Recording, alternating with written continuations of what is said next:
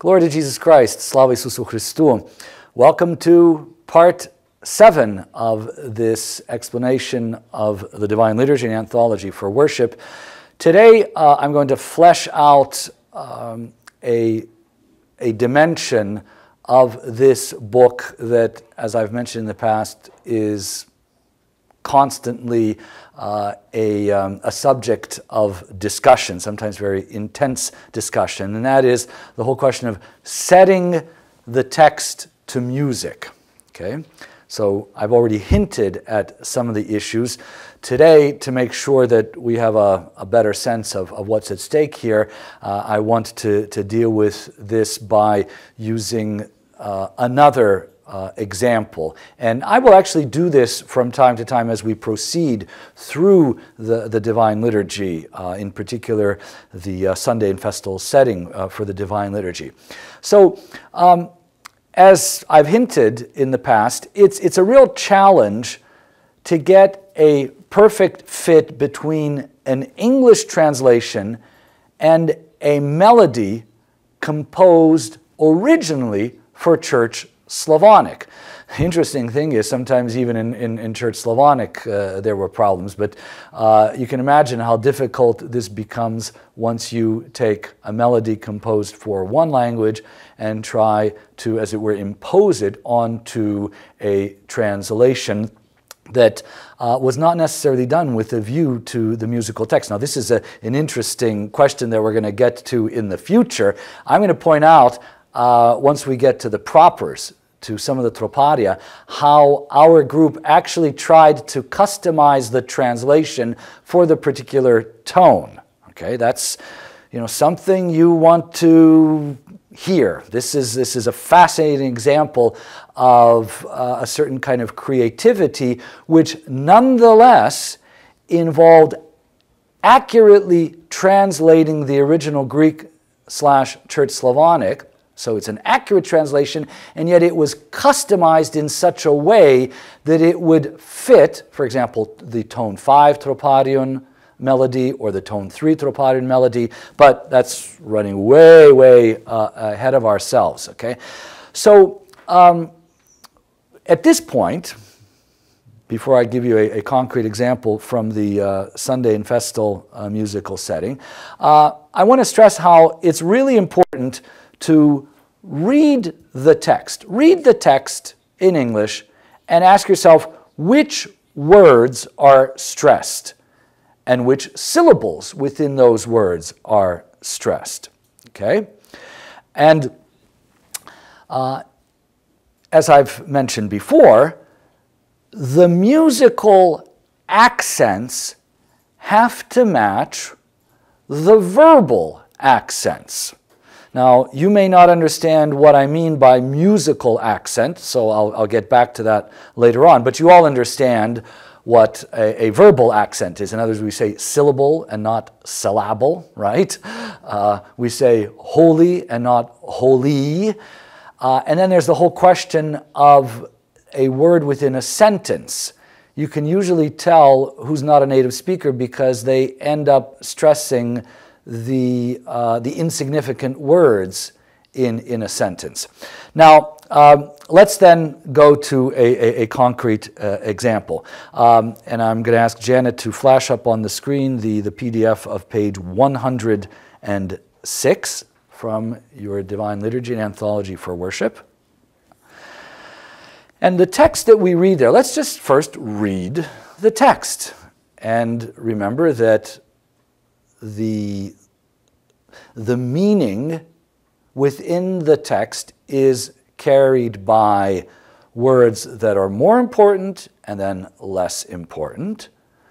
And then you have to ask yourself, how am I going to get the more important words to get the notation that uh, enables us to understand that that word deserves stress? Okay? So here's the text.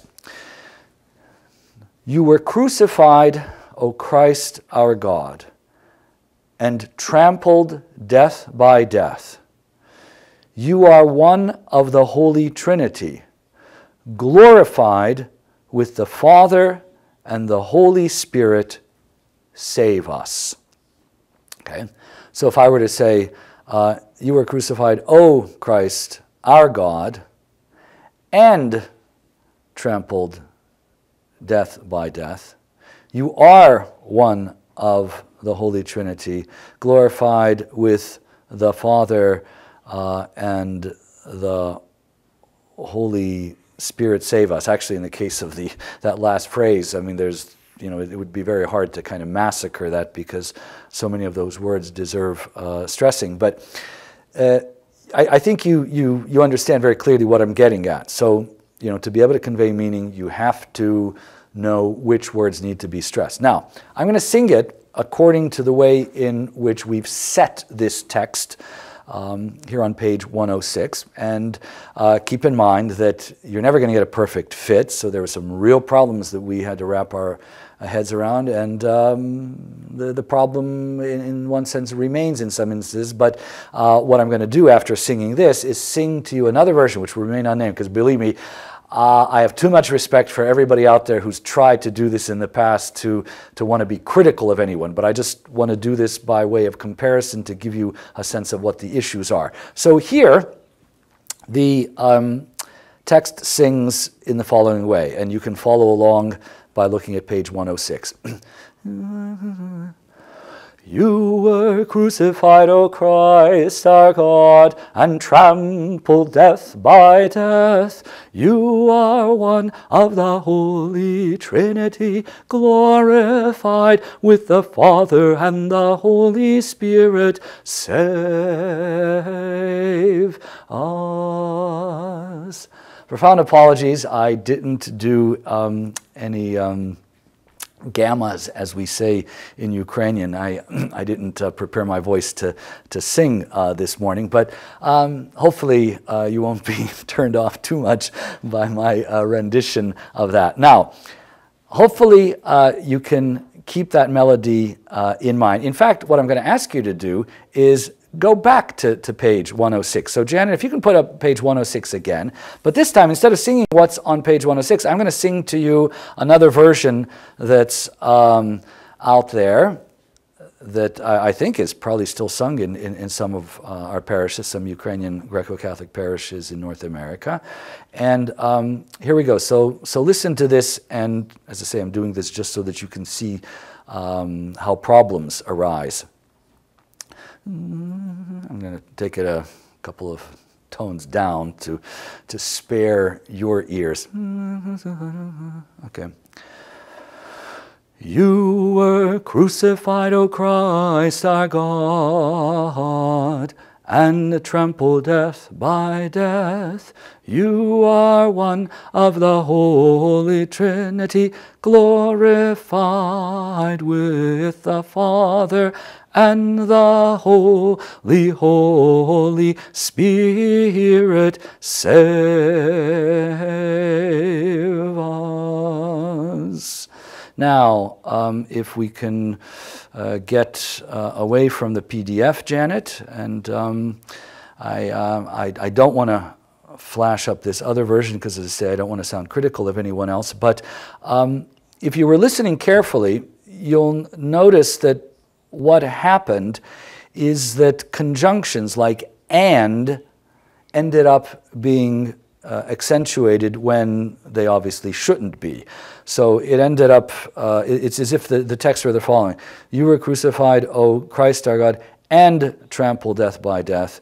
You are one of the Holy Trinity, glorified with the Father and the Holy, Holy Spirit. Save us.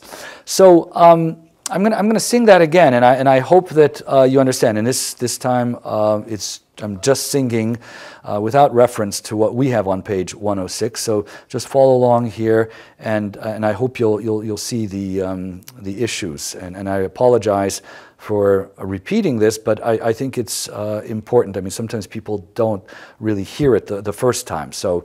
Um, you were crucified, O Christ our God, and trampled death by death. Now, where did that come from? Why would anybody do that in, um, in transposing a, a melody that was intended for Church Slavonic to a text in English. Why would that happen? Well, very easy. The explanation is, is very simple. In Slavonic, it's smart po prav, right? Or smart podolav, or sometimes they even say smart, smartiu smart podolav, whatever, you know, smartiu smart podolav. Uh, you know, that's, that's not at stake here. It's the whole question of the fact that in Slavonic or Ukrainian, accenting smartiu or smartiu makes sense. In English, accenting and trample death by death doesn't make sense. Now, there are people who say, well, you have to maintain the integrity of the, the melody by doing that, even in English. And the response is, no, this is chant. This is chant. This is not a chorale. It's not a metric hymn. Okay, even though it has metric dimensions to it, but it is a chant. So, to the extent that any chant has pickup notes, you have to be able to, to make the adjustment. And by the way, um, the, uh, something that, that I, I don't think I've mentioned uh, explicitly until now, but um, it's, it's the fact that in music, in music, the first beat of every measure gets the stress or, or, or the accent. So a simple rule of thumb is almost always, I mean, there's there are nuances here as there are in almost anything. But in general, in general, it's, it, it is true that if you're looking at a measure of music and you want to know which note ends up getting a stress in that piece of music, it is the first note in any measure. So you're going to say to me, well, how, do, how, do, how does anybody know that uh, in this alternate version that you're singing, Father Peter, the word and ended up being stressed? Well, first, you can hear it. I mean, even if you didn't have the music in front of you, you would know that um, that word is, is being stressed. And the reason it's being stressed is because it's written out as, as you know, musical notation, and it's the first note in that measure of music. Okay? The same thing happens later on. Um, so when we go down to glorified with the Father, glorified with the Father and the Holy, Holy Spirit, save us. Okay, so you see that there again, and the Holy Spirit, uh, that's the first note in that measure of music. So obviously, it's going to end up being accented when, of course, uh, an English speaker is not going to accentuate, it's not going to stress the conjunction. The conjunction is there to get us to the word Holy Spirit. Okay? So, um, that I think is something we will want to return to from time to time as we go through various pieces that are in this uh, Divine Liturgy book.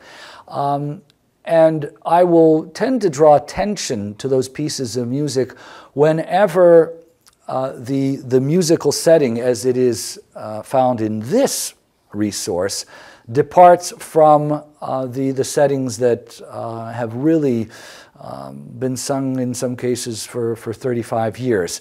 Um, you know, as I, have hinted before, sometimes you get so used to seeing it a particular way that you don't even realize that the, there's a problem, but all you need is someone coming in from the side who simply knows uh, English and simply knows the, the, the, the rules of musical setting to say, that's, that's the equivalent of, of, of broken English.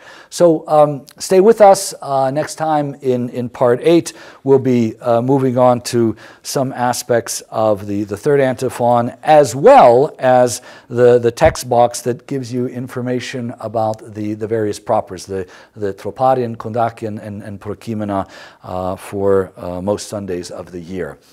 Glory to Jesus Christ. Slava Isusu Christu.